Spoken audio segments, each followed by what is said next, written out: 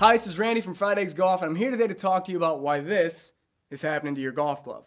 When a customer brings in a glove like this to me, the first thing I do is I ask them to show me how they grip the club. And 10 times out of 10, they will show me this grip. With the pinky finger all the way to the end cap there, and what this does is it puts this rubber edge, goes right over that pad in the palm. And the reason these holes start forming is because the majority of our grip pressure is in the trailing edge of that left hand.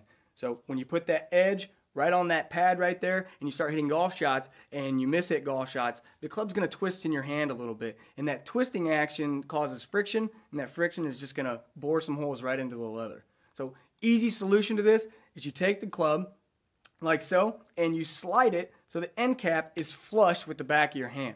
Now it looks like you're choking up if you're going off your fingers, but when you flip it from this side, you can see that the butt end of the cap rests, you know, pretty squarely to the bottom of the glove.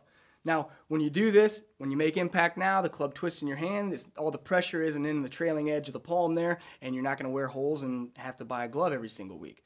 Gloves will wear out, it's their nature. But if you can't play a whole season on three, four gloves without tearing a hole in them like this, chances are is you're probably gripping the club like that. So slide it down to the end, should save you some money and uh, a headache of why you're putting so many holes right there in your golf glove.